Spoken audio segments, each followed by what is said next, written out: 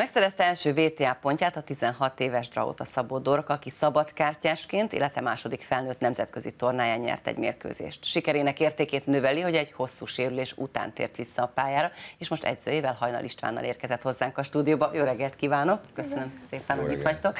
Hát Dorka, én gratulálok neked, bár azért nagyon aprócska egy pontról beszélünk, de hát azért ez mégiscsak a felnőtt mezőnyben egy nem akármilyen lépés egy teniszező életébe. Mennyire vártad már, mennyire érezted azt, hogy most lassan itt lesz? Ez ugye a második ilyen felnőtt versenyed volt. Igen, én nagyon vártam ezt a versenyt, és ugye bizonyítani is szerettem volna, és elég jól sikerült. Na de hát előtte, ugye, ahogy említettem, már volt egy sérülésed. Mi történt veled, hiszen azért januárban, még sőt, talán még februárban is azért nagyon szépen kezdted az évet, és aztán ugye a korosztályos eb amikor mentetek, akkor már előjött ez a sérülés. Mi Igen, történt elkezdett veled? fájni a bal könyököm, ami elég sokáig tartott, utána pedig lebetegedtem egy másfél hetet. Otthon voltam, és megfáztam. Mennyit kell kihagynod? Hát két hónapig csak edzettem, de tudtam edzeni a könyököm miatt, mert csak tenyerest, vagy csak a jobb kezemet használtam. Mennyire vagy szorgalmas, mennyire vagy olyan, aki azt mondja, hogy igen, ha annyit edzek, mint a többiek, olyan leszek, mint a többiek, ha többet edzek, akkor jobb leszek. Tehát hogy érintett téged ez a, azért két hónapos kihagyás? Hát én edzettem, minden nap mentem át, de volt egy olyan időszak, amikor már egy kicsit belefáradtam, és nem volt motiváció, emiatt egy kicsit rosszabb kedvem volt. Na hát és akkor itt jön az edző, akinek is gondolom rengeteg dolga van, de még egy ilyen szituációban még nehezebb. István, mi történt? Hát alapvetően ugye nehéz a teniszben formát időzíteni, mert folyamatosan versenyek vannak, de azt gondolom, hogy egy nagyon jó felkészülést csináltunk, és sajnos bejött egy sérülés, ami tovább tolta ezt a felkészülést, teljesen át kellett alakítani mindent, és valóban egy néhány hónap után már motivációt vesztett sajnos a dorka, és Gondolom, ilyenkor nagyon nehéz ezt a motivációt valami visszaadni. Hogyan lehet ezt egy edzőnek, ilyenkor mi a feladata?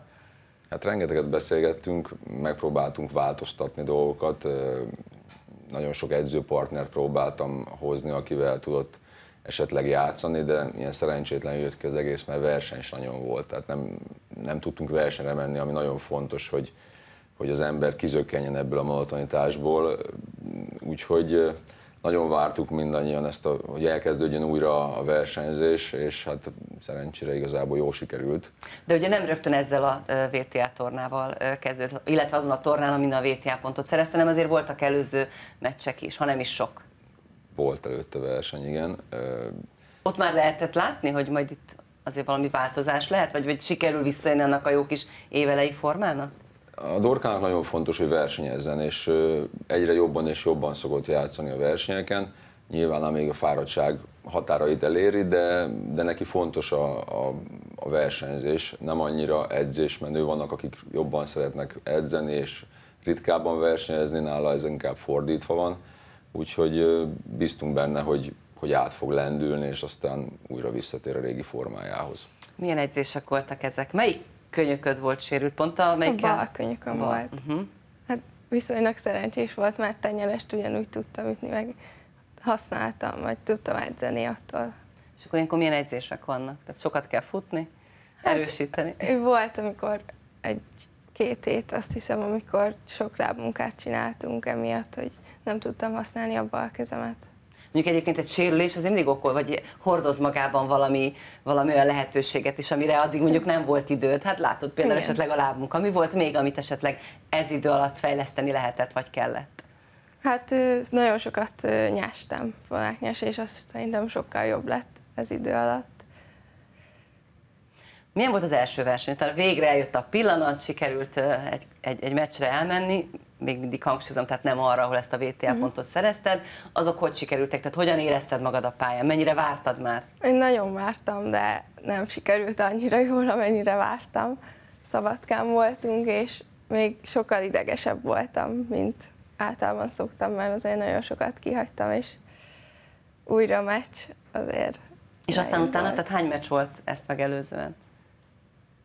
Hát ez volt az első. Már az VTA pontot megszerző meccs előtt. Utána voltam Pöstjénben.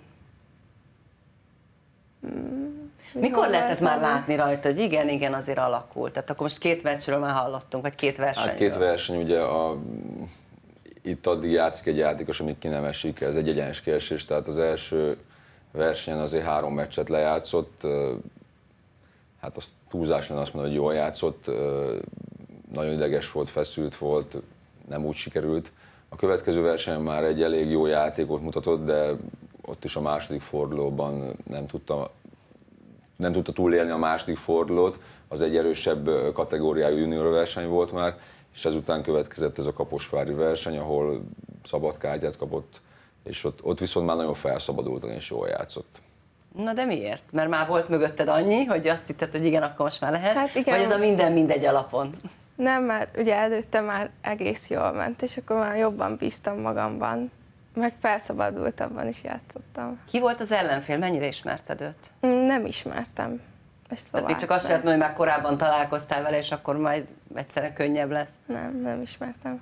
Na, ott, ott mit csinál Dóra? Meséljünk egy kicsit róla. Mi volt az erőssége, mi volt az, amiben még mindig, mindenképpen változtatni kell?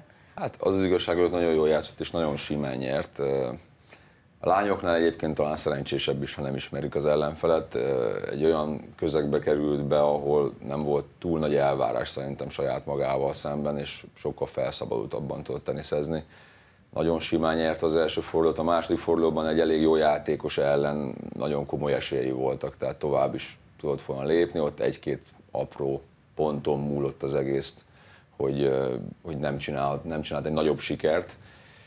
Viszont párosban meg fantasztikusan játszottak a Kovács Zitával, egy másik junior játékossal, ott a két Fed kupa játékosunkat majdnem elverték a második fordulóban, úgyhogy ott is nyertek egy meccset, igazából ott is szerzett páros VTL pontot is, megverték a korosztályuk magyar bajnokát, és utána pedig a, a Fed kupa játékosok ellen egy-két ponttal maradtak le gyakorlatilag a végső győzelemtől.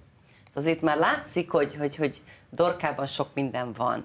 Egy, egy ilyen pont megszerzése után mennyire változnak a célok, hogy változnak-e, hogy milyen meccsekre, vagy milyen versenyekre menjen, vagy hogy hogyan kelljen felépíteni ez egy, egyáltalán a szezonját. Tehát változik-e ilyenkor valami, vagy ha nem, akkor egyáltalán hogy néz ki az ő programja ebben az évben? Változik.